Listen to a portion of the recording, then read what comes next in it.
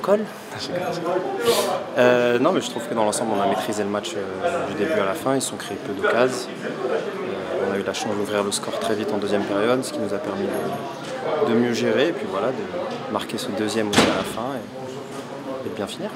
Exceptionnel. moi, je pensais qu'on allait faire 42. Je l'avais annoncé au live au T7C, mais très content de voir le potentiel qu'a le, stade. Et je me dis, si on joue la montée l'année prochaine, il peut avoir une ambiance de fou. Très beau but de JP, magnifique frappe. Et j'ai envie de dire aussi très beau but de Kader. Le petit piqué, là, magnifique. Euh, la leçon que je vais retenir, c'est le fait qu'on n'a jamais lâché, qu'on s'est toujours battu. Et je trouve que notre deuxième partie de saison, c'est de bon augure pour, le, pour la suite. Si on arrive à garder l'ossature, je pense qu'on peut faire une énorme saison l'année prochaine.